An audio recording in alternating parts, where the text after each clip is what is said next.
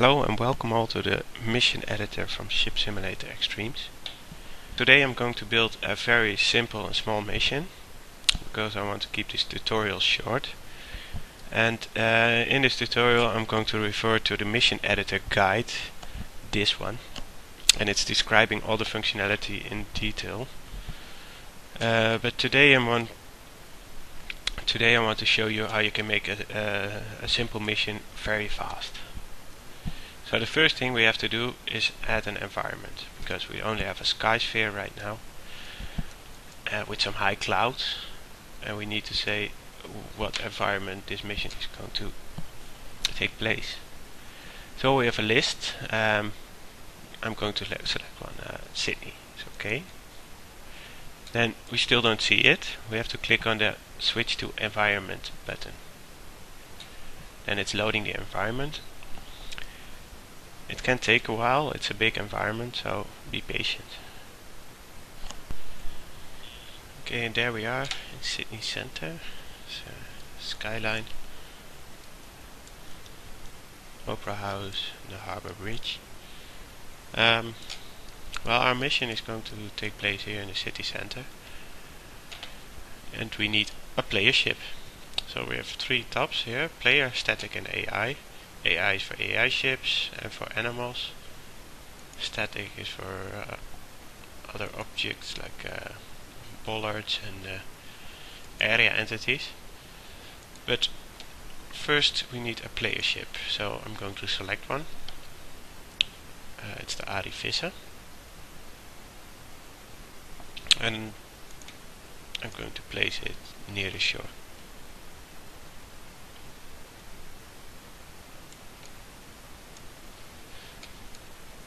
If your camera is not uh, focusing on the on the correct spot you can select the entity you just placed by double clicking on it and then move your mouse to the render scene and it's focusing on that entity. So it's uh, yeah waiting here. So this is the start of the mission one player ship so now we have a player ship in the scene and uh, we need a target. Where where do we want the player to go? Okay, let's say uh, sail past uh, Opera House. So I'm going to place an area entity, sphere area entity, like so, and um, placing it in front of the Opera House. Okay, now we have two entities in the scene. Entities in mission. Dus the Arie Visser, player ship, and the sphere area entity. Mission properties, or go to options, mission properties. Okay, let's give it a title.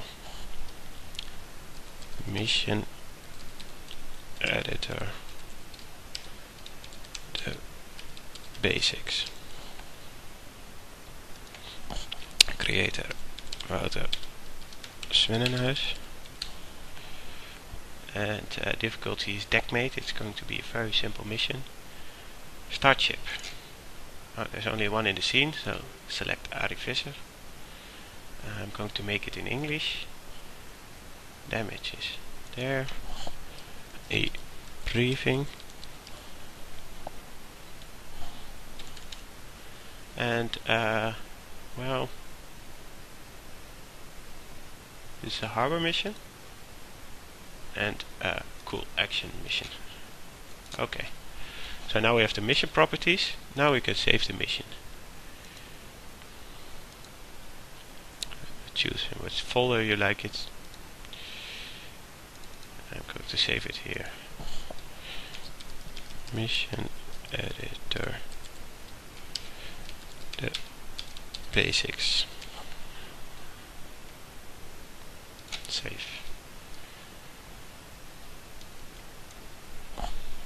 We need to give the user an objective to say, okay, sail to the opera house or sail to this area and uh, do something. So we're going to open the logic editor. You can open it by two ways uh, on the options menu or here in this toolbar there's also a logic editor button and as you see this is totally empty. Um, the first thing we need is a start signal. Here we have three different nodes. Start event and a trigger and a state.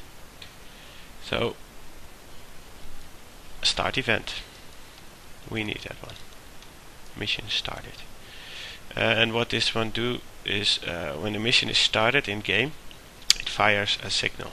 And the signal goes to all the nodes underneath. So I need a trigger. We can connect this start event to the first trigger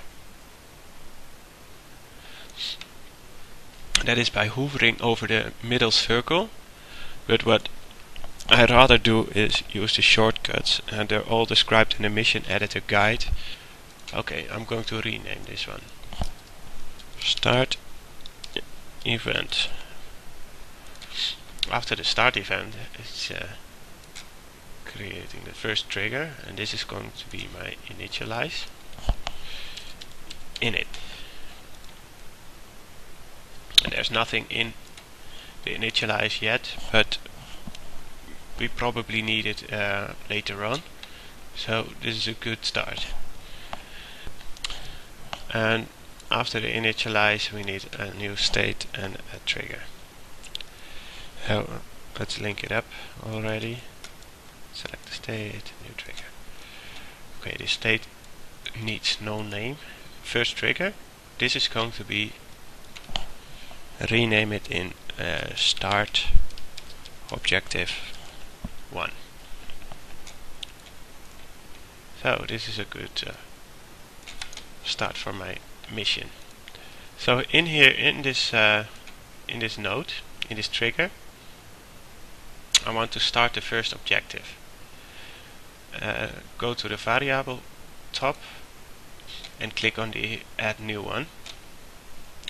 Then you get this pop-up window. We first have to select a variable type. There's a long list. Boolean entity float. Difficult names but they are described in the editor guide. Um, we need an objective. So create one. Name it objective 1 and give it a description this is this description is what the player is going to see in game when we say start objective it will pop up a window with this description. So um, the first one is uh, don't know go to the area. When I go to the opera house.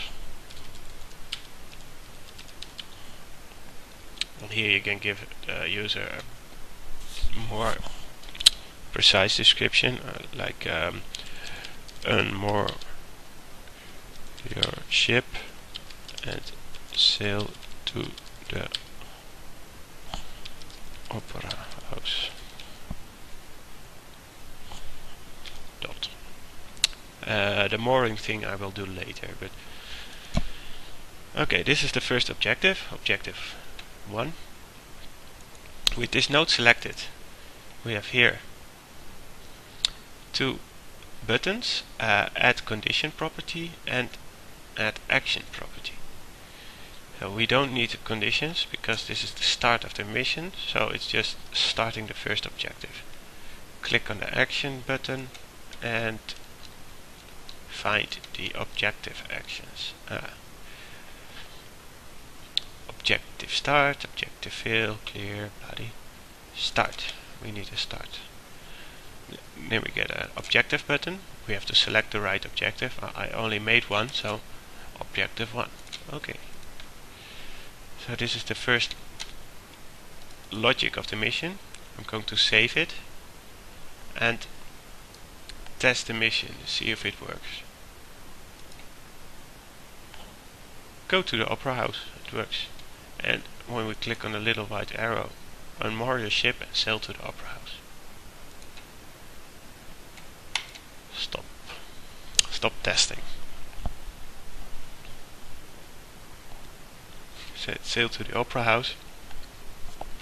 now we need some logic to check if the player is actually there. So I'm going to place a state and a trigger and link it up again. I'm going to rename the state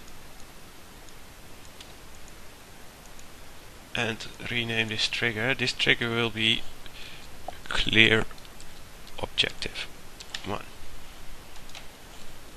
And when is the mission cleared? If this player ship, the Arie Visser, is in this sphere area entity. So we Okay, now we want to want to check if the Arie Visser, uh, the player ship, is in this area because that is the objective, sail to that area and if it's there the objective is cleared. So we select the right node to clear objective 1 and add a condition. The condition is area contains entity. It's the the top condition in this list. Uh, there are loads of conditions. Uh, well, we're only using one right now, but uh, they're all described in the uh,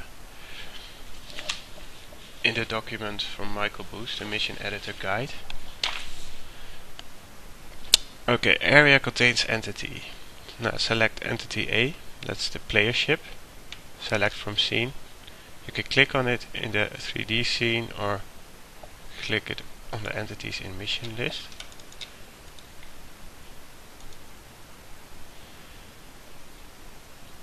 Arie Visser. And area B, well that's the Opera House building area. Okay. Is Area Visser, Arie Visser in sphere area entity 1? Okay, the condition is set. And now we want to perform an action if this condition is true. So action is objective cleared go to the O objective clear. We have to select which objective? Well objective 1 and the message is nice job. Cap. And uh, click OK. Okay okay and if this objective is reached then we want to perform another action and that is mission cleared because this mission is over after this objective. So we look at the mission, mission clear win, lose fail. We'll choose the clear win with also a message. Uh, great job, you cleared the mission. Okay, okay. So that's it. This is a very simple mission with only one objective. Let's test it. Click on the test mission button. Go to the Opera House.